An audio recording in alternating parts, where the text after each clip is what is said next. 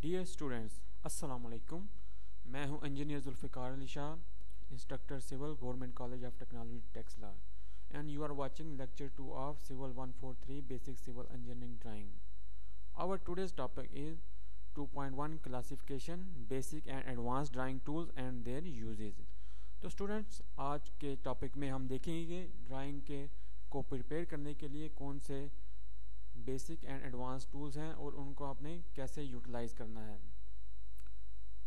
Now move to move to the topic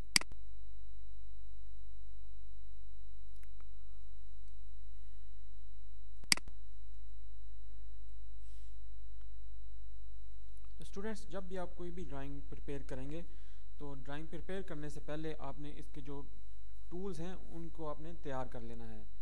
tools को तैयार करने का मतलब ये है कि जो आप ड्राइंग को प्रिपेयर करने के लिए आप इंस्ट्रूमेंट्स यूज़ करेंगे, वो इस पोजीशन में होने चाहिए कि आप उसे रेडिली आप यूज़ कर सकें।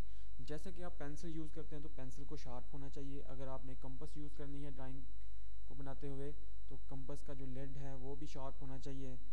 आपने जितने भी ड्राइंग इंस्ट्रूमेंट्स हैं वो नीट एंड क्लीन होने होने चाहिए। तो अब आप देखते हैं इसको वन बाय वन कौन से इंस्ट्रूमेंट आपने कैसे प्रिपेयर करने हैं।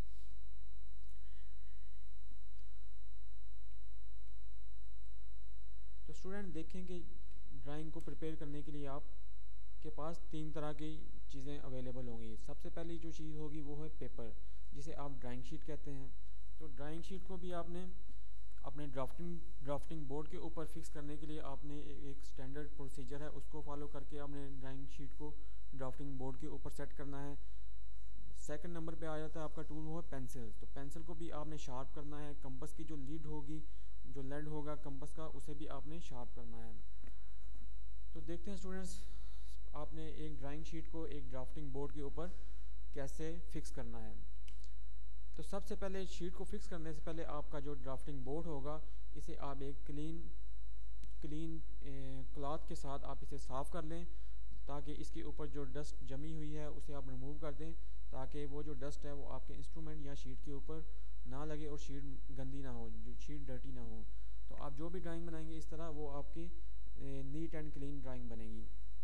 तो स्टेप नंबर वन में आपने क्या करना है? Place a paper close to the left edge of a table where a drafter can work conveniently तो स्टूडेंट्स जब आपने शीट को इस टेबल के ऊपर सेट करना है तो आपने ये करना है, एक काम करना है कि इस शीट को आपने लेफ़्ट एज के ऊपर आपने इसको प्लेस करना है।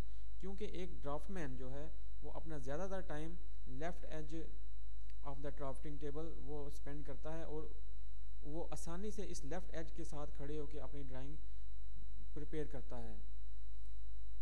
देन आपने क्या करना है कि एक टी स्क्वेयर को लेना है और उसको इस शीट के ऊपर आपने इस पोजीशन में आपने रख देना है। अपने लेफ़्ट हैंड से इसने आपने टी स्क्वेयर के जो ब्लेड को इस टेबल के साथ आपने मजबूती के साथ इस तरह होल्ड करना है।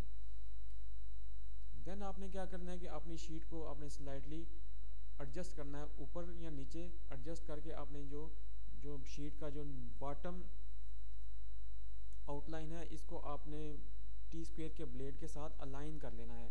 जब टी स्क्वेयर का वर्किंग एज और ये जो बॉटम इसका बॉर्डर है, वो कंसाइड हो जाए तो तब आपने इस टी स्क्वेयर को आपने अपवर्ड डायरेक्शन में मूव करके ऊपर ऊपर वाले बॉर्डर के साथ इसका जो ब्लेड है, उसको कंसाइड कर लेना है। जब ये दोनों एजेस कंसाइड हो जाए तो आपकी शीट बिल्कुल हॉरिजेंटल पोजीशन में आ जाएगी। अब आपने अपने टी स्क्वेयर को नीचे लेके आना है और दोनों कॉर्नर के साथ आपने स्काच टेप लगा के इसके ऊपर वाला जो साइड है ड्राइंग शीट की, उसको आपने फिक्स कर लेना है। देन आपने इस तरह स्लाइड करते हुए टी स्क्वेयर को नीचे की तरफ़ लेके आना है। निचले एंड के ऊपर शीट के तो इन दोनों जो कॉर्नर हैं इन इन इनके ऊपर भी आपने ये स्कॉच टेप लगा देनी है। तो इस तरह आपकी जो शीट इस ड्राफ्टिंग टेबल के ऊपर लगेगी, वो हॉरिजेंटल पोजीशन में होगी, ये डायरेक्शन ये वाली डायरेक्शन बिल्कुल परफेक्टली वर्टिकल पोजीशन में होगी, और शीट और ड्राफ्टिंग बोर्ड के दरमियान कोई हला भी मौजूद नहीं रहेगा। नेक्स्ट आप देखते हैं कि अगर आप पेंसिल आपने कैसे शार्प करनी है। तो पेंसिल जब भी आप ड्राइंग आप प्रिपेयर करते हैं पेंसिल को आप शार्प करके ही यूज़ करते हैं, क्योंकि अगर आपने पेंसिल को शार्प नहीं की, उसका जो, उसकी जो टिप है वो ब्लंट होगी तो उससे जो भी आप लाइन ड्रा करेंगे, वो थिक वो उसकी थिकनेस ज़्यादा होगी। तो जब भी आप कोई भी ड्राइंग प्रिपेयर करते हैं तो हमेशा पेंसिल को शार्प करके यूज़ करते हैं। तो शार्प करने के लिए तरीका ये है कि एक तो सबसे पहला जो बेटर ऑप्शन है वो आपके पास शार्पनर होना चाहिए। अगर शार्पनर नहीं है तो आप नाइफ़ के साथ भी इसको शार्प कर सकते हैं। तो नाइफ़ से शार्प करने का तरीका देखते हैं कि नाइफ़ से शार्प करने के लिए आप पेंसिल के ऊपर 1.5 पॉइंट का मार्क लगाते हैं और उसकी जो ऊपर वाली स्किन है, उसकी जो वुड है, उसको आप पील ऑफ़ कर देते हैं नाइफ़ के साथ। तो जब आपने इस तरह इंक्लाइन डायरेक्शन में इसको पील ऑफ़ कर दिया तो इसकी जो लेंथ की जो टिप है, इसको भी आप एक्सपोज कर देंगे। जो लेंथ की टिप है, वो आपने three by eight inches size की एक्सपोज करनी है। तो जब आप इसकी टिप को एक्सपोज करेंगे तो देन आपने इसके जो लेड की टिप है, इसको आपने शार्प करना है। तो इसको शार्प करने के लिए आप इसको पेंसिल को सैंड पेपर के अगेंस्ट आप इसे बैक एंड फोर्थ डायरेक्शन में इसको मूव करेंगे। तो इस तरह रब ऑफ़ करने से ये पेंसिल शार्प हो जाएगी। जब आपने इसको रब ऑफ़ करना है सैंड पेपर के अगेंस्ट तो आपने इस पेंसिल को साथ क्लॉकवाइज और एंटी क्लॉकवाइज डायरेक्शन में इसको मूव करेंगे, तब ये बिल्कुल परफेक्टली एक पॉइंटेड शेप के अंदर आ जाएगी। तो इस पेंसिल की पॉइंट इस तरह आपने इसकी जो पेंसिल की जो एंड है, आपने इस तरह प्रिपेयर करना है। पेंसिल की टिप आप इस तरह प्रिपेयर इस तरह कॉनिकल शेप में होनी चाहिए। नेक्स्ट जब आप इसकी टिप कोनिकल शेप में बना चुके हैं तो दम देन आपने पेंसिल को किसी पेपर क्लॉथ के साथ, किसी पेपर टावल के साथ या क्लॉथ टावल के साथ आपने इसको क्लीन कर लेना है, ताकि जब आपने इसकी सैंड पेपर के साथ अगेंस्ट आपने इसे रब किया तो इसके जो लेड का जो डस्ट है, वो आपकी इस पेंसिल के अदर पार्ट्स के ऊपर भी लग जाएगी। तो जब आप इसको साफ़ करके यूज़ करेंगे तो ना आपके आपके हैंड डर्टी होंगे और ना ही शीट के ऊपर वो डस्ट गिरने का अंदेशा होगा। जब आपने पेंसिल की टिप प्रिपेयर कर ली नेक्स्ट स्टेप में आपने कंपस के अंदर जो लीड लगा होता है, जो लेड लगा होता है, इसकी टिप को भी प्रिपेयर करते हैं। तो पेंसिल की टिप आपने कोनिकल शेप के अंदर प्रिपेयर की, जबकि कंपस की जो लेड होगा, उसे आप इस तरह पैराबोलिक शेप के अंदर प्रिपेयर करेंगे। तो इसके लिए एक आसान सा तरीका ये है कि जब आप इसको सैंड पेपर के सैंड पेपर के साथ इस इस लेड को कंपस की लेड को सैंड पेपर के साथ इस तरह रब ऑफ़ करते हैं तो आपने ये क्लॉकवाइज और एंटी क्लॉकवाइज डायरेक्शन में इसको रोटेट नहीं करना। तो जब आप रोटेट नहीं करेंगे तो तब आपके पास कंपस की लीड कंपस का जो, कंपस की टिप इस इस शेप की आ जाएगी। तो आपने जब भी कंपस की लिड शार्प करनी है तो इसी शेप के अंदर आपने शार्प करनी है। ये देखिए एक ट्राइंगल या इस तरह स्लांटेड शेप के अंदर ये लेड आपने शार्प की। तो सेकंड आपने जब आप इसकी लेड को शार्प कर लें तो देन आपने इसकी जो दोनों लेग्स हैं कंपस की, एक नीडल की लेग और दूसरी लेड की लेग इसको एडजस्ट करना है। नीडल की लेग हमेशा लेड की टिप से हमेशा नीचे होगी, ताकि इसको स्पेस मिल जाए कि आप ड्राइंग शीट के अंदर इसे इंसर्ट करने और इंसर्ट करने के बाद ये दोनों एक लेवल के अंदर आ जाएँ अब चलते हैं स्टूडेंट्स कि इन टूल्स को आपने इंस्ट्रूमेंट तो प्रिपेयर कर लिए। नेक्स्ट आपने टूल्स का इस्तेमाल करना है। तो ड्राफ्टिंग टूल्स में मैंने आपको प्रीवियस लेक्चर में ही बताया था कि ड्राफ्टिंग टूल्स में सबसे पहला जो टूल है वो आपका ड्राइंग बोर्ड है। देन आपका टूल है आपका टी स्क्वेयर और देन आपके पास सेट स्क्वेयर होते हैं। सेट स्क्वेयर के साथ साथ कंपस फ्रेंच कर्व एक्सेट्रा ये टूल्स भी इस्तेमाल कर सकते हैं। तो अब आपने इन टूल्स को इस्तेमाल कैसे करना है? तो पहले आप देख लें, ये सारे टूल्स लिस्ट ऑफ़ टूल्स है जो कि आप ड्राइंग में यूज़ करते हैं। T square and second tool is triangle T square आप जानते हैं, एक ब्लेड जो कि मुश्तमिल होता है, एक हेड और एक एक ब्लेड के ऊपर। और ट्राइंगल्स को आपने क्लास में पढ़ा था सेट स्क्वेयर तो ट्राइंगल्स को आप सेट स्क्वेयर भी कह सकते हैं। ये दोनों जो टूल्स हैं, ये स्ट्रेट लाइन लगाने के लिए इस्तेमाल होते हैं। कि इन दोनों टूल से आप स्ट्रेट लाइन ड्रा कर सकते हैं। टी स्क्वेयर के साथ आप हॉरिजेंटल स्ट्रेट लाइन ड्रा कर सकते हैं। सेट स्क्वेयर के साथ आप वर्टिकल स्ट्रेट लाइन ड्रा कर सकते हैं। अब दो तरह के सेट स्क्वेयर मैंने आपको पढ़ाए थे। एक 45 डिग्री का सेट स्क्वेयर होता है और एक 30 डिग्री 60 डिग्री का सेट स्क्वेयर होता है। तो 45 डिग्री सेट स्क्वेयर से आप 90 डिग्री एंगल के ऊपर भी लाइन लगा सकते हैं और 45 डिग्री एंगल के ऊपर भी लाइन लगा सकते हैं। इसी तरह जो 30 डिग्री 60 डिग्री सेट स्क्वेयर होता है, उससे आप वर्टिकल लाइन तो लगा ही सकते हैं। इसके अलावा आप 30 डिग्री की लाइन डायरेक्टली लगा सकते हैं और 60 डिग्री की लाइन भी डायरेक्टली लगा सकते हैं। इसके अलावा आप इन दोनों सेट स्क्वेयर को कंबाइनली यूज़ करके आप हर एक एंगल ड्रा कर सकते हैं जो कि मल्टीपल ऑफ़ 15 डिग्री हो। तो किसी भी 15 डिग्री मल्टीपल एंगल को आप इन दोनों सेट स्क्वेयर की कम्बिनेशन से आप उस एंगल को ड्रा कर, उस एंगुलर लाइन को आप ड्रा कर सकते हैं।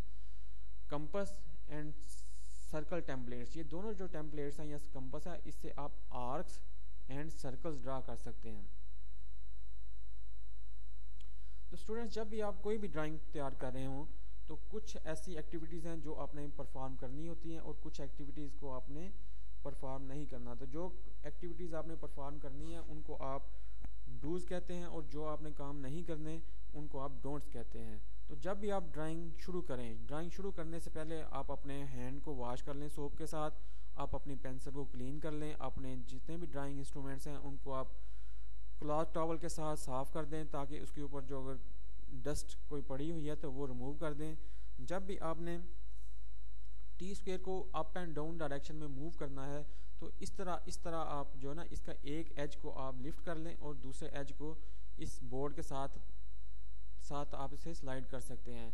जब आप इसे लिफ्ट करेंगे तो ये जो टी स्क्वेयर है, ये शीट के ऊपर इस तरह रब नहीं होगी। जब शीट के ऊपर ये, इसका ब्लेड रब नहीं होगा तो शीट गंदी होने से बच जाएगी। इसी तरह जब आप सेट स्क्वेयर को आपने स्लाइड करना है, किसी लेफ़्ट साइड के ऊपर या राइट साइड के ऊपर तो स्लाइड करने से पहले आप सेट स्क्वेयर का एक एंड जो है ना, इस तरह रेज कर लें फिंगर के साथ और उसको आप against blade of T square आप इसे लेफ़्ट और राइट डायरेक्शन में आप इसे मूव कर सकते हैं। तो इसको लिफ्ट करने का मकसद भी यही है कि जब आप इसे लिफ्ट करेंगे तो ये स्ट्रैक ये जो सेट स्क्वेयर का जो मिनिमम, इसका जो सेट स्क्वेयर का शीट के साथ कंटेक्ट मिनिमम होगा। तो इससे वो शीट गंदी होने से बच जाएगी। इसी तरह जब आपने कोई ड्राइंग का फीचर या ड्राइंग का कोई एलिमेंट आपने एक्सप्लेन करना है किसी स्टूडेंट को या टीचर को तो अब आपने फिंगर के जो नेल है उसको इस तरह शीट के ऊपर रख के आप इसको एक्सप्लेन करेंगे। आपने फिंगर की सीधी साइड नहीं यूज़ करनी, बल्कि फिंगर को उल्टा करके इसके नेल से आपने किसी चीज़ को एक्सप्लेन करना है। तो वो काम जो आपने नहीं करने वो ये हैं कि आपने ड्राइंग शीट के ऊपर आपने पेंसिल को शार्प नहीं करना। ना ही ड्राइंग शीट के ऊपर आपने कोई एक्स्ट्रा मटेरियल कोई ड्राइंग टूल या बुक आपने उसके ऊपर नहीं प्लेस करनी और ना ही आपने ड्राइंग शीट के ऊपर अपना हाथ रखना है, ना ही उससे आपने ड्राइंग शीट को स्मैश करना है। तो ये चीज़ें आप कर लेंगे तो आपके पास जो अल्टीमेट ड्राइंग होगी वो बड़ी नीट ही, नीट एंड क्लीन कंडीशन में होगी और वो एक प्रेजेंटेबल फॉर्म में होगी। तो आपको उससे ज़्यादा मार्क्स मिलने के चांसेस हैं। तो अब आप देखते हैं स्टूडेंट्स कि आपने कंपस को कैसे यूज़ करना है। तो कंपस को यूज़ करने के लिए आप डायरेक्टली किसी जगह पर रख के कंपस को आपने इस्तेमाल नहीं करना, बल्कि सबसे पहले आपने जहाँ पे जो भी आप सर्कल ड्रा करना चाहते हैं या जो भी आर्ट ड्रा करना चाहते हैं तो आपको उनका सेंटर पॉइंट का पता होना चाहिए कि वो सर्कल उसका सेंटर सेंट्रल उसका जो सेंटर होगा, उसकी पोजीशन क्या है। फिर आप उसके जो सेंटर को पहले आप शीट आपने शीट के ऊपर मार्क करना है, उसके बाद आपने सर्कल को या कंपस को यूज़ करके एक सर्कल ड्रा करना है। तो उसका जो सेंटर पॉइंट है, उसको मार्क करने के लिए आप एक हॉरिजेंटल लाइन लगाएँगे और एक वर्टिकल लाइन लगाएँगे। तो इन दोनों का ऑर्डिनेट आपको पता होना चाहिए कि ये किस लोकेशन पे आपने ये लाइन लगानी है। इसके बाद आपने जब इंटरसेक्शन पॉइंट आ जाएगा तो आपके पास एक सेंटर पॉइंट आ जाएगा। इसके बाद आपने कंपस को ओपन कर लेना है। इसके जो दोनों लेग्स हैं, उसको ओपन कर लेना है। या इसको ओपन करने के लिए आपको रेडियस दरकार होगा। जितने रेडियस का आपने सर्कल ड्रा करना है, उस रेडियस को आप रूलर की मदद से, उस रेडियस को यूज़ करके आप रूलर की मदद से दोनों लेग्स को ओपन कर सकते हैं। तो स्टूडेंट जब आपने कंपस को डिज़ायर रेडियस के मुताबिक आपने ओपन कर लिया देन आप कंपस की नीडल्स को उसके सेंटर पॉइंट के अंदर जो है ना इंसर्ट कर लेंगे। कंपस की नीडल को इंसर्ट करने के बाद आप अपनी राइट हैंड की फिंगर से आपने इस कंपस का जो हैंडल है उसको पकड़ लेना है और उसके ऊपर प्रेशर अप्लाई करके आपने इस कंपस को क्लॉकवाइज डायरेक्शन में इसे मूव करना है। ये देखें आपने राइट हैंड से इसकी कंपस के हेड को आपने पकड़ा और उससे आपने राइट क्लॉकवाइज डायरेक्शन में आप इसे रोटेट करने करेंगे। तो रोटेट करते कर, जब आप इसे फुल्ली रोटेट कर लेंगे तो आपके पास एक सर्कल अचीव हो जाएगा। अब चलते हैं स्टूडेंट्स कि आपने स्ट्रेट लाइन कैसे ड्रा करनी है? अगर आपके पास इस तरह के दो पॉइंट हों पॉइंट ए और पॉइंट बी और दोनों ना तो हॉरिजेंटल प्लेन में वाक़ हैं और ना ही वर्टिकल प्लेन के अंदर वाक़ हैं, बल्कि एक इंक्लाइन प्लेन के ऊपर ये लाई करते हैं। तो इसको ड्रा करने के लिए आप क्या प्रोसीजर फॉलो करेंगे? तो इसके लिए मैं एक वीडियो को रन करता हूँ। सबसे पहले आपने पेंसिल की जो टिप है उसको पॉइंट ए के ऊपर रखना है और आपने इस तरह सेट स्क्वेयर का दूसरा एज सेट स्क्वेयर का ये वाला जो लॉन्गिट्यूडनल एज है इस पॉइंट ए के ऊपर आपने कंसाइड कर लेना है। इन दोनों को अटैच करने के बाद आपने इस सेट स्क्वेयर को रोटेट करना है और इसको इस डायरेक्शन में पॉइंट बी की डायरेक्शन में लेके आना है। देन आप इस तरह पेंसिल को यूज़ करते हुए आप ये एक, एक लाइन ड्रा कर लेंगे।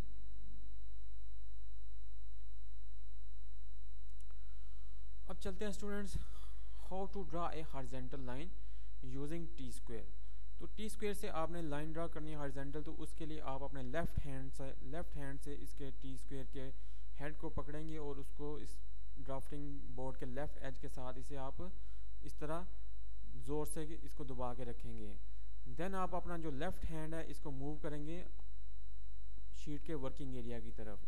तो जब आप इसे मूव करेंगे तो जब आपने मूव कर लिया थोड़ा सा तो वहाँ पे आपने इसको हैंड के साथ इसको प्रेस करना है इस ब्लेड को, ताकि जब आप इस पेंसिल को पकड़ के इस तरह लाइन ड्रा करें तो ये जो ब्लेड है, ये अपनी जगह से मूव ना करें।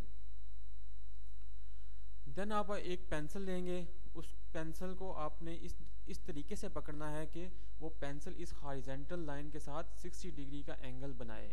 तो उस पेंसिल की ये जो टिप है वो इस ब्लेड के साथ, इसके वर्किंग एज के साथ मिली होनी चाहिए और इसका जो टॉप साइड है, वो इस वर्किंग ब्लेड के एज से पीछे होना चाहिए। ये देखें स्टूडेंट ये जो लाइन आप, ये पेंसिल आप पकड़ेंगे, वो इस हॉरिजेंटल लाइन के साथ 60 डिग्री का एंगल बनाना चाहिए। और ये जो पेंसिल की टिप है, ये इस इस ब्लेड के वर्किंग एज के साथ मिली होनी चाहिए और इसका जो दूसरा एंड है, वो इस ब्लेड के ब्लेड की डायरेक्शन से इस तरह हट के होना चाहिए।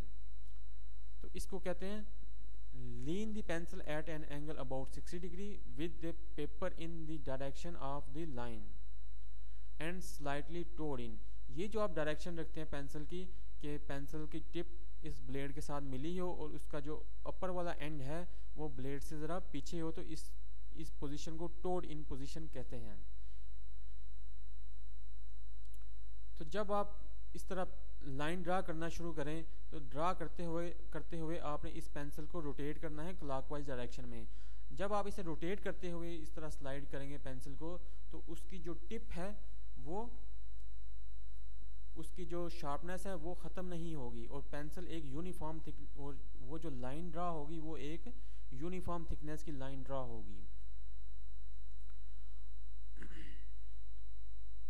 अब आपने स्टूडेंट कोई और लाइन ड्रा करनी है, इस, इसी लाइन के ऊपर या नीचे तो आप इसी तरह इसके टी स्क्वेयर को या तो नीचे मूव कर लें अगर आपने नीचे लाइन ड्रा करनी है, अगर आपने ऊपर मूव मूव कर लें अगर आपने ऊपर लाइन ड्रा करनी है तो देखते हैं कैसे आपने नेक्स्ट लाइन ड्रा करनी है। तो नीचे इस तरह आपने लेफ़्ट हैंड लेफ़्ट हैंड को आपने उठाना है और इसके स्टॉक के ऊपर रख के आप इसे नीचे ले आए और देन आपने लेफ़्ट हैंड को दोबारा अपनी वर्किंग एरिया में ले आए और वहाँ पे आपने इस ब्लेड को दबा के या इसके ऊपर प्रेशर डाल के रखना है। तो देन आप उसी तरीके को फॉलो करते हुए उसी डायरेक्शन में उसी तरह इस पेंसिल की अलाइनमेंट को रख के आप एक लाइन ड्रा कर लें। अब चलते हैं students how to draw a vertical line तो वर्टिकल लाइन ड्रा करने के लिए आपने जो सेट स्क्वायर है, कोई कोई भी सेट स्क्वायर यूज़ कर लें, उसको इस टी स्क्वायर के साथ ज्वाइंटली आपने यूज़ करके आपने वर्टिकल लाइन ड्रा करनी है। बस लड़के क्या करते हैं कि इस टी स्क्वायर को ही, को भी इस लेफ़्ट एज की बजाय ऊपर टॉप वाली साइड के ऊपर ले जाते हैं इस डायरेक्शन में। और इस तरह ब्लेड इस तरह ला के तो ये एक वर्टिकल लाइन ड्रा कर लेते हैं, जो कि गलत प्रैक्टिस है। तो आपने ये जो टी स्क्वेयर यूज़ करना है, वो हमेशा सिर्फ़ और सिर्फ़ ऑनली हॉरिजेंटल लाइन ड्रा करने के लिए यूज़ करना है। अगर आपने वर्टिकल लाइन ड्रा करनी है तो इसी टी स्क्वेयर के ब्लेड के साथ आप एक सेट स्क्वेयर को रख लें और फिर आप वर्टिकल लाइन ड्रा कर लें। तो देखें, एक सेट स्क्वेयर को आपने रख लिया इस टी स्क्वेयर के ब्लेड के ऊपर। आपका ये जो टी स्क्वेयर का ब्लेड है परफेक्टली हॉरिजेंटल पोजीशन में होना चाहिए और आपने यहाँ पे एक ऊपर आपने हाथ रख के इसको दबा देना है। जब आपने आप इसके ऊपर एक सेट स्क्वेयर रखना है तो इससे पहले आपने यहाँ पे हाथ रख लेना है ताकि जब सेट स्क्वेयर रखें तो ये अपनी जगह से, ये जो इसका ब्लेड है वो अपनी जगह से मूव ना करे। देन आपने हाथ, जब आपने पेंसिल से लाइन ड्रा करना शुरू करनी है तो इसी हाथ को आपने ब्लेड से उठा के आपने ब्लेड और सेट स्क्वेयर दोनों के ऊपर रख लेना है और देन आप इस जगह पे पेंसिल को रखेंगे और इस तरह पेंसिल को स्लाइड करेंगे तो एक वर्टिकल लाइन ड्रा हो जाएगी। तो बाकी तरीकाकार वही अगर आपने करना है, आपने पेंसिल की जो अलाइनमेंट है, वही रखनी है कि 60 डिग्री पे आपने फ्रॉम हॉरिजेंटल आपने उस पेंसिल को पकड़ना है और पेंसिल जो है, वो इस सेट स्क्वायर के साथ टोड इन होनी चाहिए। देखिए स्टूडेंट्स ये वर्टिकल लाइन ड्रा हो रही है। उसी तरह अलाइनमेंट आपने रखनी है पेंसिल की हॉरिजेंटल के साथ 60 डिग्री का एंगल बनाए। और स्लाइटली टोड इन होनी चाहिए कि इसकी जो टिप है ये इस सेट स्क्वायर के साथ हो और उसकी जो दूसरी, दूसरा एंड है पेंसिल का, वो सेट स्क्वायर से बाहर की तरफ़ हो। तो पेंसिल को रोटेट करते हुए आपने इसको स्लाइड करना है अपवर्ड डायरेक्शन में तो ये एक यूनिफॉर्म थिकनेस की लाइन आप ड्रा कर लेंगे। अब स्टूडेंट चलते हैं how to draw a line at 30 degree angle with the horizontal के हॉरिजेंटल के साथ आपने एक लाइन ड्रा करनी है जो कि हॉरिजेंटल के साथ 30 डिग्री का एंगल बना रही हो तो वो कैसे आप ड्रा करेंगे? वो उसका तरीकाकार भी यही है कि पहले आप अपना अपना जो टी स्क्वेयर है, उसको आप अपनी पोजीशन में रखें हॉरिजेंटल पोजीशन में देन आप सेट स्क्वेयर की जो 30 डिग्री की साइड है, वो इस तरह रख के आप इसके साथ साथ आप लाइन ड्रा करेंगे तो एक जो लाइन ड्रा होगी वो हॉरिजेंटल के साथ 30 डिग्री का एंगल बनाएगी। तो देखें स्टूडेंट्स कि इसी तरह नीचे से लेके ऊपर की डायरेक्शन में आपने लाइन को ड्रा, करना है। कभी भी आपने ऊपर से नीचे की डायरेक्शन में लाइन को ड्रा नहीं करना। तो जब आप प्रैक्टिस करेंगे तो आपकी ये चीज़ आपकी जो है ना प्रैक्टिस में ये शामिल होनी चाहिए कि जब भी आपने हॉरिजेंटल लाइन ड्रा करनी है वो लेफ़्ट राइट डायरेक्शन में ड्रा करनी है। अगर वर्टिकल लाइन ड्रा करनी है तो आपने नीचे से लेके ऊपर की डायरेक्शन में ड्रा करनी है। अगर कोई इंक्लाइंड लाइन ड्रा करनी है वो भी नीचे से लेके ऊपर की डायरेक्शन में आपने लाइन ड्रा करनी है। तो देखें 45 डिग्री का की लाइन आपने ड्रा करनी है तो वो कैसे करेंगे? उसका तरीकाकार भी यही है, लेकिन आपने जो सेट स्क्वायर यूज़ करना है, वो 45 डिग्री का सेट स्क्वायर यूज़ करना है, और ये जो सरफेस है सेट स्क्वायर की, वो इस हॉरिजेंटल के साथ 40 डिग्री 45 डिग्री का एंगल बना रही हो। तो वो सरफेस यूज़ करनी है। 45 डिग्री एंगल वाली सरफेस को आप यूज़ करके 45 डिग्री की लाइन ड्रा कर सकते हैं। इस तरह अगर आपने इसी लाइन के पैरेलल लाइंस लगानी है 45 डिग्री की तो आप इस सेट स्क्वायर को आप राइट साइड डायरेक्शन में मूव कर लें तो तब भी आपकी एक पैरेलल लाइन लग जाएँगी। इसी तरह 45 डिग्री की लाइंस आपने इस डायरेक्शन में लगानी है तो इस तरह भी आप लगा सकते हैं। और इसी तरह लेफ़्ट साइड डायरेक्शन में आप इस सेट स्क्वायर को मूव करेंगे तो पैरेलल लाइंस लग जाएँगी। अगर आप इसकी लॉन्गिट्यूडनल साइड जो इस ट्रायंगल थी, इसकी लॉन्गिट्यूडनल साइड ब्लेड के साथ रख देंगे तो आप दोनों साइड के ऊपर 45 डिग्री का एंगल होता है तो दोनों साइड के ऊपर आप 45 डिग्री की लाइन लगा सकते हैं। अब चलते हैं स्टूडेंट्स के how to draw a line at 60 degree with horizontal कि आपने एक लाइन ड्रा करनी है जो कि हॉरिजेंटल लाइन के साथ 60 डिग्री का एंगल बनाए। तो उसके लिए आप 30 60 डिग्री सेट स्क्वायर को यूज़ करेंगे और उसकी जो 60 डिग्री वाली साइड है, उसको आप यूज़ करते हुए 60 डिग्री की लाइन ड्रा कर सकते हैं। तो ये देखें स्टूडेंट्स ये जो सेट स्क्वायर की ये साइड है, वो इस हॉरिजेंटल के साथ 60 डिग्री का एंगल बना रही है। तो ये जो लाइन ड्रा करेंगे आप, वो 60 डिग्री की लाइन होगी।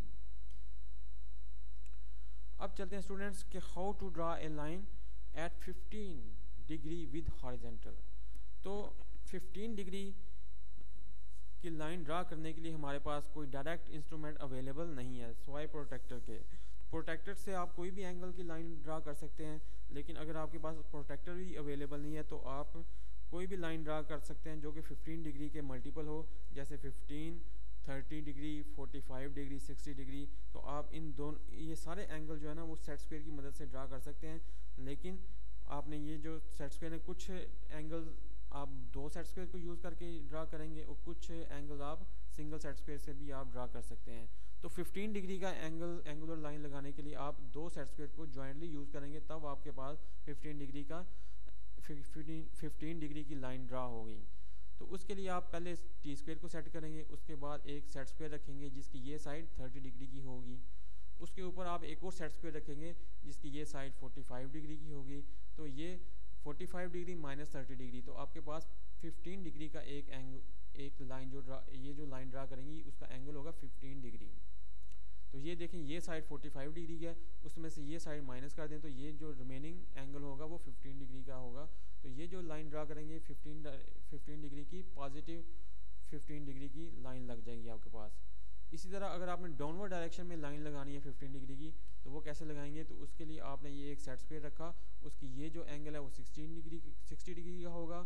इसके साथ आपने 45 डिग्री एंगल वाले सेट स्क्वेयर को यूज़ करना है। तो अब आप ये जो लाइन ड्रा कर रहे हैं तो ये भी 15 डिग्री की लाइन 15 डिग्री ही बना रही है, लेकिन ये डाउनवर्ड डायरेक्शन में, इसका जो एंगल की डायरेक्शन है, वो डाउनवर्ड डायरेक्शन में है।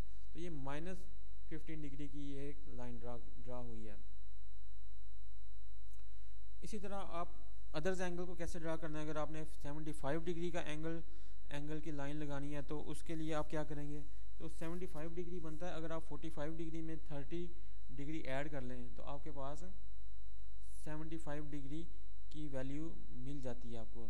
क्योंकि 30 30 प्लस 45 मेक्स 75 तो पहले आप 30 डिग्री साइड को यूज़ करते हुए एक सेट स्क्वेयर रखें देन आप इसके ऊपर 45 डिग्री साइड को यूज़ करते हुए 45 डिग्री वाला सेट स्क्वेयर रखेंगे तो आपके पास ये जो लाइन होगी वो 75 डिग्री की लाइन होगी।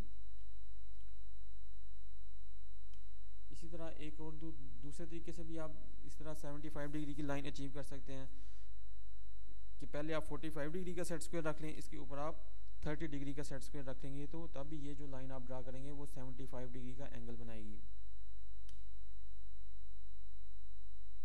ठीक है स्टूडेंट्स अब आगे चलते हैं how to draw a line at 105 degree with horizontal तो अब आप देखेंगे 105 डिग्री आप दो सेट स्क्वेयर को यूज़ करते हुए कैसे आप अचीव कर सकते हैं। तो अगर आप 60 डिग्री साइड में 45 डिग्री की साइड ऐड कर लेंगे तो आपके पास बनता है 105 डिग्री एंगल तो अब आप पहले 60 डिग्री वाली साइड को यूज़ करते हुए एक सेट स्क्वेयर को सेट करें। इसके ऊपर आप 45 डिग्री वाला सेट स्क्वेयर को आप रख दें। तो इन दोनों एंगल्स को आप जमा करेंगे।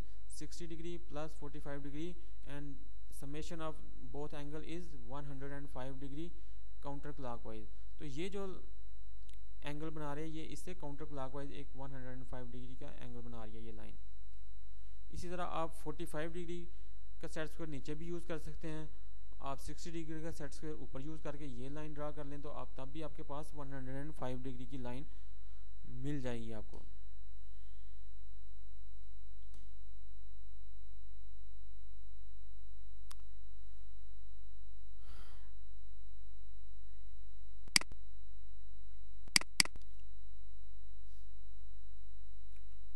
स्टूडेंट अब हम चलते हैं ड्राफ्टिंग हमारा नेक्स्ट जो टॉपिक है एडवांस ड्राफ्टिंग इंस्ट्रूमेंट्स में, ये हमारे पास है मिनी ड्राफ्टिंग टेबल यहाँ आप इसे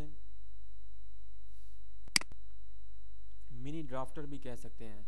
तो मिनी ड्राफ्टर क्या चीज़ है? ये इसकी कन्फिगुरेशन आप देख रहे हैं सामने कि एक टेबल के ऊपर ये एक दो आर्म्स हैं, इसके साथ ये रूलर लगे हुए हैं। तो ये एक समझने के इस इस ऊपर जो टेबल के अलावा ये जो ऊपर सेटअप है, इसको मिनी ड्राफ्टिंग मशीन कहा जाता है। या इसे ड्राफ्टर ड्राफ्टिंग मशीन भी कहा जाता है, क्योंकि ये एक छोटे साइज़ की, छोटे साइज़ की मशीन है तो इसलिए अब इस साइज़ को, इस मशीन को आप मिनी ड्राफ्टिंग मशीन कहेंगे। अब मिनी ड्राफ्टिंग मशीन क्या करती है? इस ड्राफ्टिंग मशीन से भी आप हॉरिजेंटल लाइन लगा सकते हैं, आप वर्टिकल लाइन लगा सकते हैं, और कोई भी लाइन लगा सकते हैं जो किसी भी एंगल के ऊपर हो।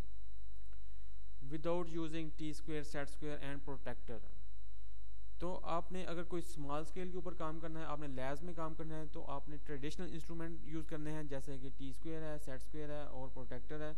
और अगर आपने प्रोफेशनल काम करना है प्रैक्टिकल काम करना है, कोई आपने प्रोफेशनल वर्क करना है तो उसके लिए वहाँ पे आपके पास मिनी ड्राफ्टर्स अवेलेबल होंगे। तो मिनी ड्राफ्टर का काम भी वही है जो एक टी स्क्वेयर सेट स्क्वेयर और प्रोटेक्टर करते हैं। लेकिन इसमें फ़र्क ये है कि इससे मिनी ड्राफ्टर से काम आप बहुत ही एक्यूरेटली और बहुत स्पीडीली कर सकते हैं। जब आप इस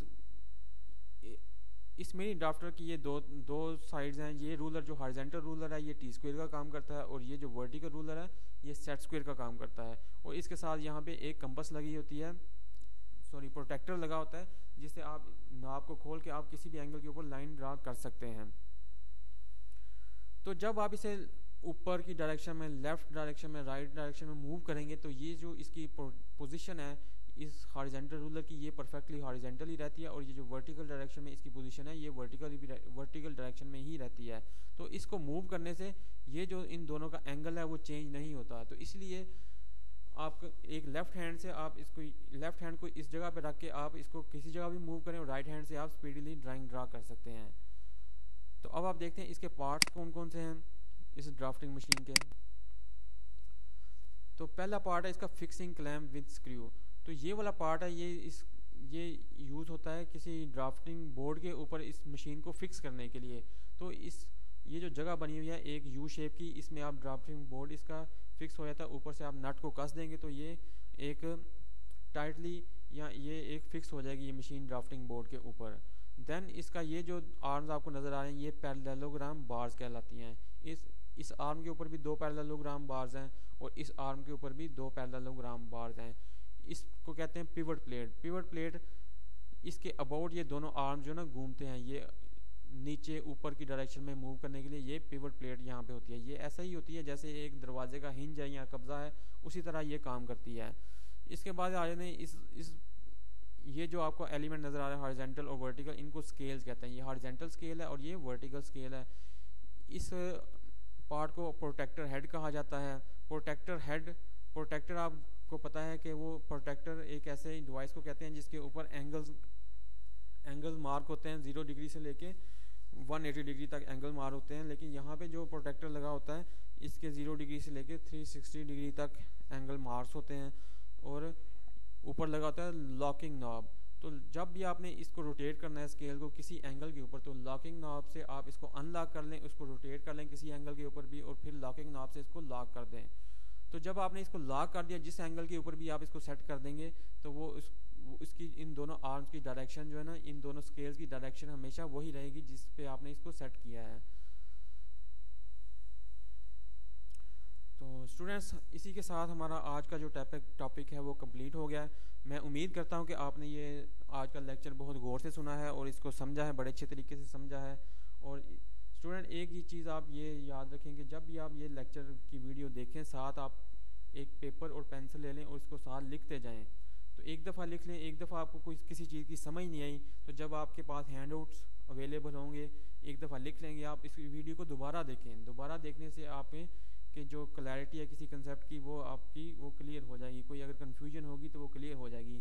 इसके अलावा मैं भी अवेलेबल हूँगा आपके साथ। जब भी आपको कोई कन्फ्यूज़न हो या इसमें इसी स्लाइड को सुनते, इसी वीडियो को देखने के बाद अगर कोई क्वेश्चन आपके जहन में आए तो आप मुझे पर्सनली टेक्स्ट मैसेज कर सकते हैं। I I will answer you इनशाला और मैं आपको पूरे सेटिस्फाई करने की कोशिश करूँगा। इसके अलावा आप वीडियोज़ को वीडियो के नीचे भी कमेंट कर सकते हैं कि अगर किसी टॉपिक के बारे में या किसी कंसेप्ट के बारे में आपको कोई कन्फ्यूज़न है, वहाँ कमेंट कर दें तो तब भी मैं आपको रिप्लाई कर दूँगा इनशाला ओके जी थैंक यू फॉर लिसनिंग और आज के लेक्चर मैं उम्मीद करता हूँ कि आपने इन्जॉय किया होगा। तो नेक्स्ट लेक्चर में हम मिलेंगे इंशाल्लाह नेक्स्ट वीक के अंदर। तब तक के लिए अल्लाह हाफिज़।